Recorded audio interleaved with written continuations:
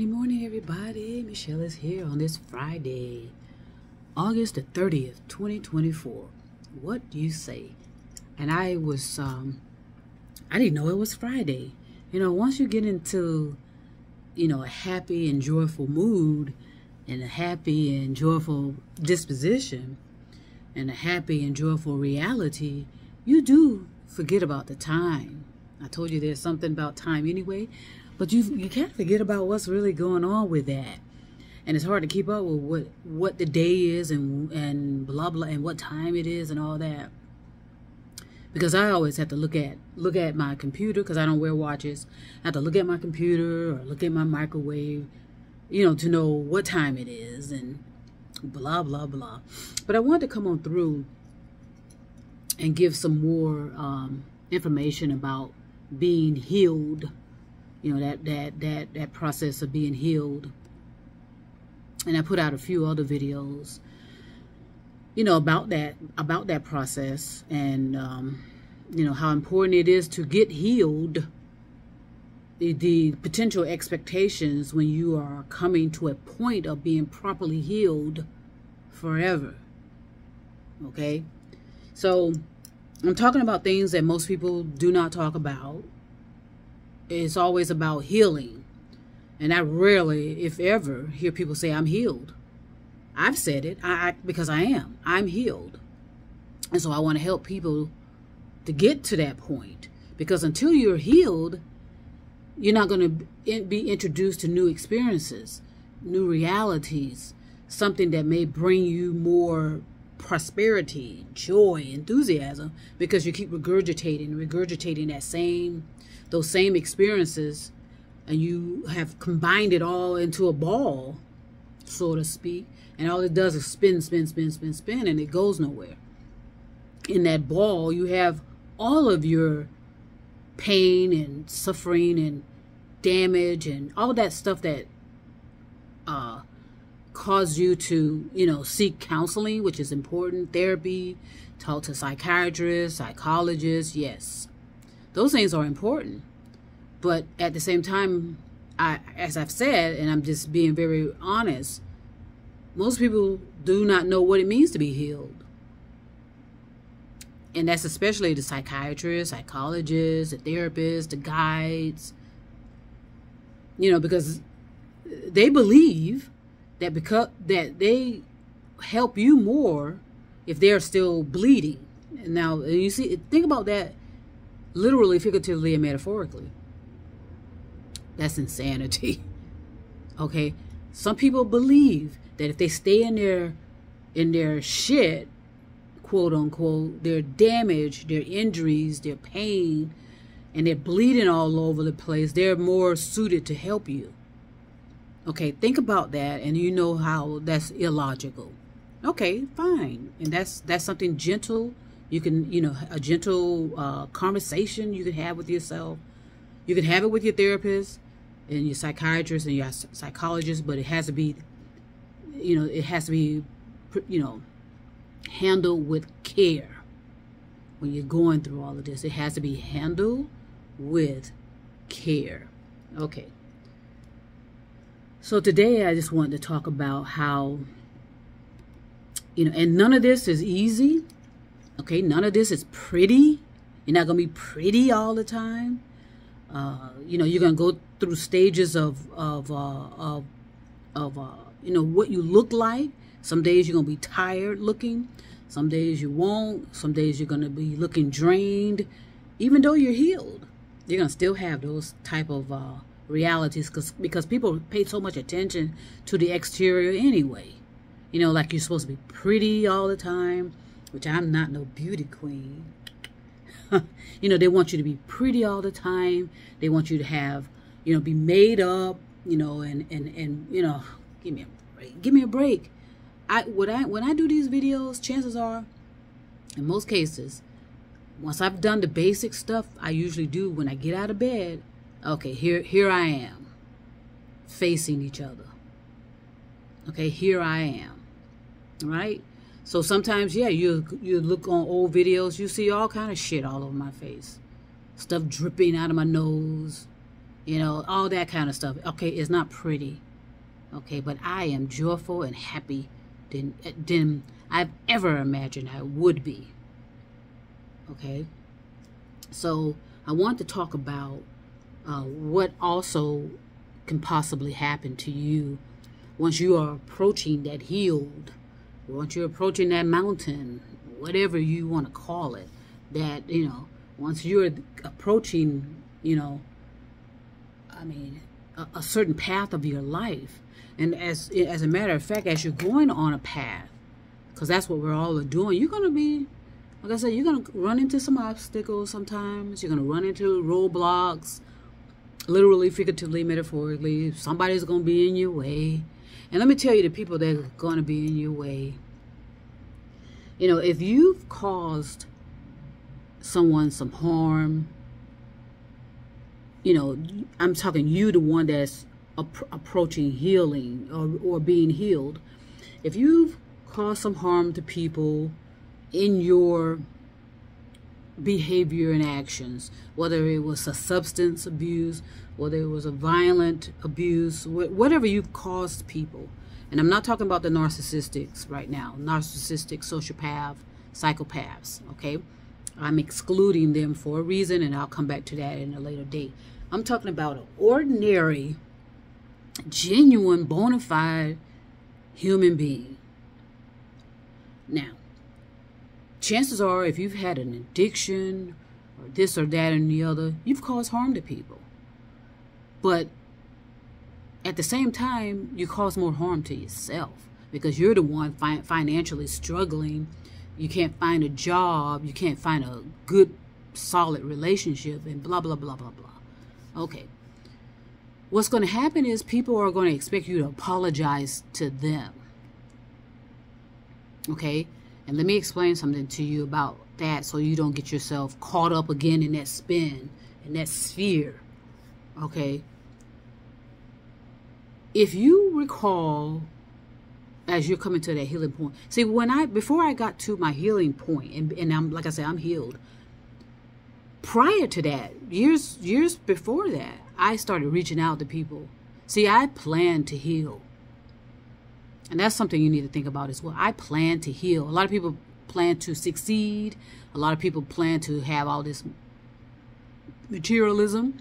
Well, I planned to be healed and and that and that and that will be it that will cover it all for me and i'll explain that at a later date as well before i healed i reached out to people and this was years years ago years ago uh, because i was remembering things and and i felt like okay i need to go talk to this person and, and find out what happened between us and if they remember what I remember, and let's resolve it. In other words, I reached out to people, not the narcissistics, okay, the psychopaths, and not them, but just the ordinary, genuine, bona fide human being that I was involved with. I reached out to them and attempted to make things right, to make to resolve anything that I could in the in relationship to what I may have done to them. So I, I met up with them. We had dinner together. We talked. I remember one person I had dinner with. We were in that restaurant for almost five hours, I think, three to five hours. You know, just talking. Because once we healed, and that took, you know, we healed our relationship. We started talking about other stuff. And see, and that's what happens when you don't heal. You miss out on other opportunities with people. You miss out on other opportunities with life. Okay, so so in other words, once that once I healed, we healed our relationship, which took no time. We were talking about everything else, catching up. So in other words, if you don't heal, and you know, if you don't apologize to people, if you know you've hurt them, you know you've manipulated, stole from them, you know that. Be kind and gentle with yourself. If you have a psychiatrist, a therapist, or somebody let them or a guide let them guide you to how to properly approach that situation so my point is you don't want to go around begging people to accept your apology. Okay? First of all, apologize to yourself. Okay? You cause more damage to yourself, chances are, than anybody else. Because usually what happens is you get family members or friends, blah, blah, blah, or whoever, and it usually has something to do financially. You know, like your mama will give you $20 when they know you're not going to the grocery store to pick up some diapers. I remember that happened back in the day. We all, everybody in the family, well, anyway, we all knew that there was a problem. Okay, but we kept, but but a lot of us continue to feed it. You keep feeding, you keep feeding it, you keep feeding, and then you're wondering why this person doesn't heal. So you feel so you feel so important, right? Because you know you gave that person twenty dollars. Well, you know you possibly should not have, but you did. And then you had all these expectations. I'm saying people have an expectation on, on victims. Yes, you are a victim of a victim. Okay, but be be be mindful of that and be and ask yourself, why did you give that person twenty dollars when you knew where that where that person was going with the twenty dollars? You know that kind of thing. It, it it's not easy, and so if you expect easiness, then you know you're just gonna be deluded and and just spinning anyway because you're in a delusion. So when it comes to apologies, be very mindful of apologies because apologies can that's when people can be dragging you back the people, you know, I helped you when you, you know, they, they say all this kind of stuff. You know, I, I, I bailed you out of jail and, and, you know, they put all that pressure on you. Okay. And then they, and they, then they expect you to apologize to them. I say, you don't, uh, I say, I say, stop. Stop. And ask yourself, okay, what am I apologizing for? You don't have to say that to them, but just with yourself or a therapist or a guy, what am I apologizing for? Because I fucked up? Be very that's a that that's a moment right there. And that's where like I said, psychiatrists and psychologists, therapists and guys need to keep that in mind. You know, telling people to go around and apologizing for their behavior and action. I say I say be very very very cautious of that. And make sure you're conscious enough to understand what that means. The only person you owe an apology to is yourself. Okay? Until you apologize to yourself, everybody else is irrelevant, and I mean that. And if they love you, they'll understand that. And that's how you know, please, ladies and gentlemen. That's how you know if someone loves you or not. Okay, it's their behaviors and actions. And in most cases, if somebody loves you, they are not going to expect too much from you when they know you're when when you, when they know you're you know injured is you know it's, it's and this it's a literal thing if someone has a broken arm are you going to expect them to shake your hand you know, when their arm is just, you know, come on now. Let's just let's just be thinking clearly and effectively about what we are expecting from ourselves and people. So, again, if you can remember exactly what you've what you've done to harm people, decide on your own if you wanted to address it. You don't have to. You don't have to. If you cannot apologize to yourself, that's more of a problem than worrying about if you apologize to other people. Like I said, who willfully gave you $20 or willfully loaned you their vehicle and blah, blah, you know, all this other stuff that we do. That, that and a lot of people used to call it codependency back in the day. You see how words evolve? That's why you need to know what you are saying to yourself. So again, when you're coming to that point of healed, if you feel comfortable enough and you want to address certain things that you may have caused harm to others, or you just want clarification. That, and that's basically what I want. I don't want to know, okay, why did we break up like that? You know, it wasn't a, it wasn't, it, it's just why did we break up? And it wasn't anything traumatic and you know a lot not as much drama than most relationships have. Whether it's a a love relationship or a friend relationship you know sometimes you know we're causing our own drama. But the main thing is to apologize to yourself. You owe yourself an apology and, and gently say to yourself you know i apologize to myself and no one has to know Okay, I'll talk more about these things in deep, in deepness, more deep uh, realm. But like I said, proper setting, proper environment. These are just something for entertainment purposes only. You need to make sure that's said because people, you know, coming after you, especially when I say psychiatrists and psychologists, they're the first ones that want to come after you and come after people that are doing other, other creative. Uh, things to help people. You know, you get these psychiatrists and psychologists that come in and they know who they are because they're benefiting off of your pain. That's why. Okay, they like you to stay in the spin and take that medication and blah blah blah. And and you know, hey. Okay, so again, a lot of people are going to have to, if they want to heal, people are supposedly healing other people. If you want to heal, you need to apologize to people because that that's obvious what you're doing.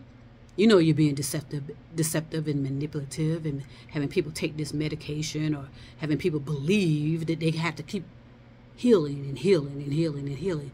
Some of you know you're involved in fraud and manipulation, and I'm talking about those in the professional fields. Okay, how does that sound for an apology? You know, you're dealing with people with fragile, fragile uh, realities. And they're just they're doing everything in their power to put it back together. But some of you professionals like it like to keep it apart. You know so you can have some have a way to pay your bills and you know and milk people for for everything they have. Okay? Dare i said it. Again apology you know for for those of you like myself and others that are genuinely wanting to help people. And yes there's some psychiatrists and psychiatry uh psych you know th- there are professionals out there that genuinely want to help but there's a lot of them that do not. What they want to help is their pocketbook their wallets their bank accounts. Okay? Pay attention. Be mindful. Be aware. Contact me. You know i'll, I'll guide you through there Okay? So I'm going to go ahead and send peace and love all over the stars and moon and mountains. And trust me, I will be back.